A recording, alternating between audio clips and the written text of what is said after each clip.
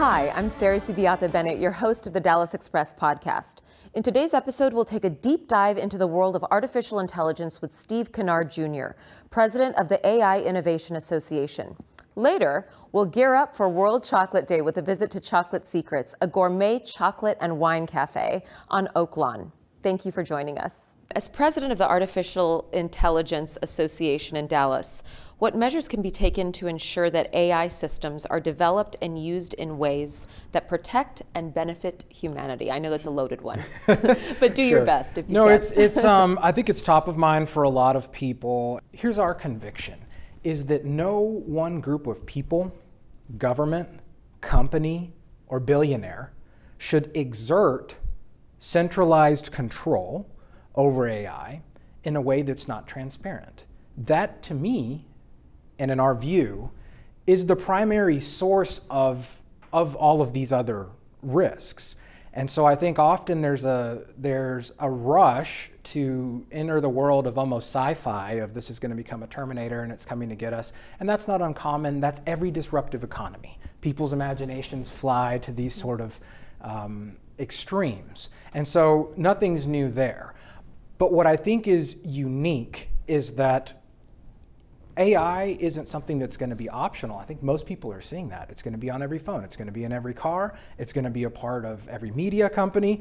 And I think that largely that could be a good thing. I'm an optimist by default. I, I consider myself a technology optimist. But the threat is real of centralized control, and I think that is the greatest risk here. I mean, you were here, just running a few minutes behind because you went to, I guess it was a field hearing, is what they called it, where the new bipartisan bill, the Take It Down Act, I guess there was some type of hearing at the University of North Texas at Dallas. That's right. right? And would you tell us a little bit about your takeaways from that event? It was, and my apologies again for being late, but it was worth it. No, um, yeah. this was a hearing at, at the UNT Dallas yep. campus. Yep and was really a part of the Commerce Committee within the Senate. Mm-hmm. Uh, and our Senator Ted Cruz is on that mm-hmm. committee. And so that was kind of the entity hosting uh-huh. it. But more importantly, the, the, the purpose of the hearing was to allow for testimony around a piece of legislation that Senator Cruz has co authored and importantly is co sponsored by a total of 14 now bipartisan U.S. senators from across the country. That's great. And in this day and age, I think that's remarkable mm-hmm. and is a great sign of, of kind of the groundswell for support. And the focus of the bill, it's, it's taken on this moniker, the Take It Down mm-hmm. Act. And it is focused on the, the disturbing uh, rise of deep fake uh, attacks, really, is the only way to describe it. Non-consensual sexual. That's right non-consensual yeah. uh, intimate imagery. I think yep. there is is what they've Sexually come up with. NCII is, yes, uh, is yes, the yes, term now. Yes, yes, yes. Um, and it, it overwhelmingly we have seen is is targeting women and most disturbingly teenage young girls. girls. Young, young girls. girls. Uh, and a, as a father to a daughter, it's it's deeply disturbing. Uh-huh. And there were a number of testimonies there that were, were really moving, frankly. But one that I have to highlight was from a young woman, inc- incredibly brave that, that told her story from right here in Texas um, about uh, harmless pictures that she had posted of, of her friends at, at, at, a gathering yep. um, on, on X, Y, or Z social media platform. And a boy in her class, um, for, for reasons I can't possibly understand, took those pictures and then used an AI tool that, uh, that they said had actually been provided through um, uh, Google was, was, was providing that tool um, and was able to make very lifelike. And the advancement of these tools is remarkable in that it doesn't, it, it's not, and they stressed this, it's not that they took a picture of her face and like pasted it on yep. some other pornographic image. It looked disturbingly and shockingly real. Yep. And went viral throughout this girl's school, and I just I, I can't imagine that. Yep. I can't imagine that. And what what made it even worse was the reality that they had to face twofold. First, that there was no regulation in place through which the school could expel the perpetrator of this crime, which is just shocking. Uh, and so they had no recourse through the school itself, went to the school board meeting, all of that. Nothing they could do. Uh, and then, secondarily, they had identified most egregiously uh, Snapchat had these pictures going viral, mm-hmm. and they were contacting Snapchat and saying these, you know, these are pictures of a of a 14 year old girl, mm-hmm. uh, and they could not get them to take it down. And over a series of months, escalated and escalated, and then finally got uh, Senator Cruz's office involved. And then they take them down right away. Yep. And what that shows is they're perfectly capable. Mm-hmm. They're perfectly aware of what's going on, and we have to make a change. What I'll highlight about that bill that, that our association is very much supporting is also that it, it is short and targeted. Mm-hmm. That's important too. I think we live in a time now where all of a sudden you have two and three hundred page bill. Everything's an omnibus. Yep. It yep. covers twenty five different issues, yep. and it's pork barrel this and building a bridge to nowhere. None of that. None of that in this bill. It is about 14 pages. You can find it on Senator Cruz's website. I want to discuss a little bit more about how AI, as you're aware of it, could potentially be utilized by our police department to address crime and improve different types of staffing shortages mm-hmm. and overall efficiency in their departments? Yeah, so I think the first way to approach that is to highlight the approach that the state of Texas yep. is taking right now, which I think is the right one. In the last legislative session, a law was passed to create an AI advisory mm-hmm. council. Um, at the state level. Yep. And they have started to hold hearings. I've gone to a few of them in Austin. And so the first step is to have these kinds of hearings in public. Mm-hmm. And the focus of that council is precisely to invite representatives across government entities mm-hmm. to start to provide testimony of how they view AI, are they using it, in what ways, and how is that developing. And the way that I can broadly characterize those discussions from what I've seen firsthand is frankly reassuring that most government entities are not rushing into this. Not, n- no one is in a hurry to implement AI in some kind of decision making uh, position yep. where we've seen obvious human bias mm-hmm. um, in these models. Mm-hmm. And I think uh, broadly our institutions are well aware of that and, and the real risks that uh, if, if human bias has been a part of the training of the model, then you're basically codifying bias. so anytime that, that we start to get into a discussion around policing, I think it's important to, to establish these first principles. Yep. Move, move slow and cautiously, and always from a privacy first standpoint mm-hmm. because mm-hmm. law enforcement and government is dealing with a lot of very, very sensitive information That's right. from people. So, with your background in Bitcoin mining and your insights into these digital currencies, how do you envision CBDC or some a centralized bank digital currency becoming a mainstream form of e-commerce or commerce in general? I believe it's here. I know it's going to happen in a few years. Those are my beliefs. Yep. But I'm very interested in what yours are. There are a few things here that I think are undeniable, and you touched on the first one, and that is the economy, our lives, but certainly the economy, is getting more and more digital, mm-hmm. if not digitally native, if not 100% digital, because now we're seeing places that even don't want to accept cash, which I oppose that. If our only way to settle peer to peer, that you and I can settle without a counterparty, is through cash, and we move to a digital economy, then what does that mean? It means that you've lost what I consider to be a right, which is a willing buyer and seller should be able to come to an agreement and settle peer to peer without having to go through a counterparty, whether it's the government or a bank. Mm-hmm. You know, now if the bank facilitates that and provides a value-added service, great. You know, use that by consenting to it, but not by default. It's very interesting to me to see the lead for innovation in the digital dollar occurring everywhere except the United States. We are lagging behind significantly, unfortunately, with respect to this type of technology. I mean, the digital yuan, for example, China is light years ahead of us with respect to this, but then it's also terrifying because they are also beholden to the oligopoly that is big tech in. China. And Absolutely. all the China, Chinese government has to do is go to their social score. Right. Their, what is it? The POP score, POP score? Something. first time I've heard that. Yeah. yeah, and then so if for whatever reason the Chinese government is unhappy, they just point straight down right. to that CCP score. It's a CCP score. It's a social score. And if the Chinese government deems them a threat, they they're not able to transact it, it's the it's a real world. It's like Orwell going from fiction to reality. Absolutely. It's we're living in a in a fascinating time, really. It is a fascinating time. It's also terrifying. I remember when I was young, um, people talking about a chip, right? Saying, "Oh, a chip will be used to control you, and if you do not use that chip or the science that comes along with it, then you will not be able to engage in commerce." Right. And I firmly believe that our cell phones are that chip. I mean, we are so tethered to Apple, to Google in every capacity yep. in our lives. To de Google any part of your life is such a chore. Yeah.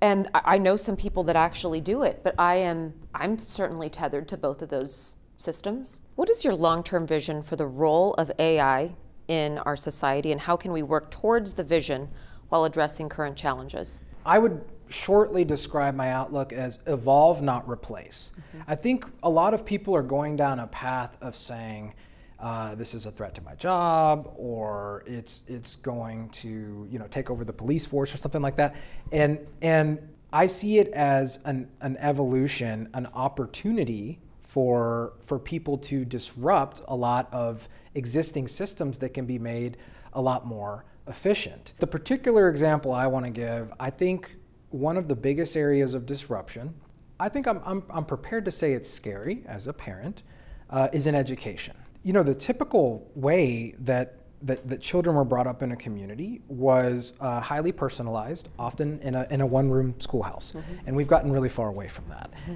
And I think w- whatever your positions are broadly on education, I, I, hope there's a broad recognition that one size fits all is not good. Mm-hmm. And uh, a, a, lot of our system has gone down that, that route, and the results have been, I think, predictable from that, that sort of approach.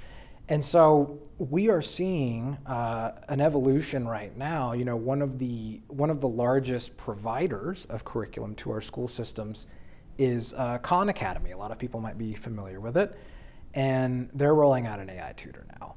Um, we are they really? They have an AI tutor uh, that I haven't tried myself. The purpose of it is to give personalized feedback. And here's what I think is important: not the answer. That's so right. you ask it something. Exactly. You know, what's two plus two? It's not yep. going to tell you four. It's going to say, well, do you know how to do one plus one? Mm-hmm. Start there and break it down, and then build back up to, to, to, to actually tutor you. That's right. Does that make sense? And then by collecting that data over time, be able to personalize to the experiences to, to whatever a particular child needs. I think the disruption that that could, that could make, particularly in special education, is extremely promising. Mm-hmm. But there's a can of worms there too.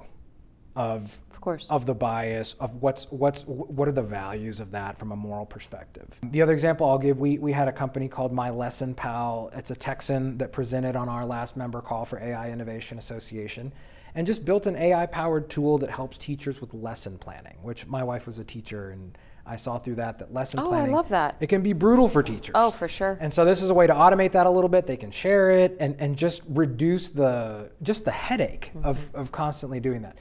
So you see that kind of low hanging fruit and it's like this is just it's a simple way to like make your life a little bit better. Yes. Right? Can you tell us a little bit about what you want to leave with? Because you are running for political office. Yeah. Would you mind telling us a little bit about what you're running for and what changes you hope to implement? I am running for state representative in House mm-hmm. District 70, uh-huh. uh, which is which is here in the Dallas area, uh, primarily in Plano and Collin County. It's helpful for us to have a legislature with more diverse views and backgrounds, and as more of an entrepreneur, more, someone who's a little more tech forward. I, I, don't think that viewpoint is widely represented. It's not. Uh, so, in, in a professional capacity, in terms of like tech, technological optimism, yep. I think there's an opportunity for us to have that more effectively represented. Mm-hmm. And a lot of what I've seen in our communities, just from a law and order standpoint, of what, what I really don't consider partisan issues, we, we shouldn't want broadly you know, criminals running right. loose. Oh my gosh, yes. Um, so shockingly, we, we've seen an unbelievable spike in fentanyl drugs in our schools, and, and I, I think that we should rally around our first responders and our law enforcement and our border agents yep. and and fix that. Yep. Um, and so I saw an opportunity to bring that from a perspective of someone who I was born and raised in Dallas. This is my home. I'm not leaving. I'm fighting for it. And, and people like that message, and I'm, I'm blessed to be in this position to, to be running for that in the, in the general election. It's an opportunity for me as well with, with, within my, my professional work to kind of uh, walk the walk when I tell people you got to get more involved. That's right. Thank you so much for being here. Thank you. I this appreciate was, it, This was Steve. wonderful. I, I really do appreciate it. Get ready to say goodbye to your summer diet and satisfy your sweet tooth. We're heading to Chocolate Secrets to celebrate World Chocolate Day. This unique cafe is one of my favorites among the sweet spots in Dallas. So keep an eye out for it the next time you're driving down Oaklawn. So I love it here. My kids love it here. And I've bought a whole bunch of things here before, like jewelry that you all Yeah, feature yeah. from the artisans. fun, Uh, that's why I was like, anything where I can feature local community things, Uh-huh, and I- it's just so special. Cheers. I love the Stop Texas with the little. Chanel. Oh my god, and the heels. Oh my god, these are so cute. Oh my god, these. Monty always tells me, he's like, Do you know what you do when you go to these restaurants? Because I have like a mile long drink order. I'm a bad influence. No, you're not. Oh, this Don't looks be crazy. heavenly. Why Looks do you like think that you're a bad influence? oh, because um, whenever we get together, we have a lot of fun. Such as You know. Neither of us should be doing this right now. Yeah. Yes, on a oh, Thursday. Oh, oh, so you you're just wanting it to pull that out. Most of my like close friends have big personalities. I mean, yeah, you, yeah. Yeah. You, you're like, we know. What are we gonna do Oh first? gosh, This side or even that side? these little half pieces look I know. big. Hmm. Heaven. That's good. It's just very rich. It's rich. Okay, this next one is Yeah. the I kind of want to eat spice, that, but I know I need spice. to. What is it? Texas spice. There's a set. I love it. Mm. Oh, The flavors keep coming. they keep coming. That one is That bomb. is oh my gosh, it just keeps coming. That is so good. Yeah. Mm. It like hitting. It's right. hitting. Um, Yes, it's yes, three yes. chocolates. Yes, it's gonna be rich. But then we'll finish it with um. We'll go to the vanilla bean to like bring some light. It's good. You're like not. It's good. that Texas spice. It's my, it's my number one. yeah, it's my number Thus one. far. I know. Mm, It's good. I like it. It's that's the thing is it's just good. It's just it's just yum.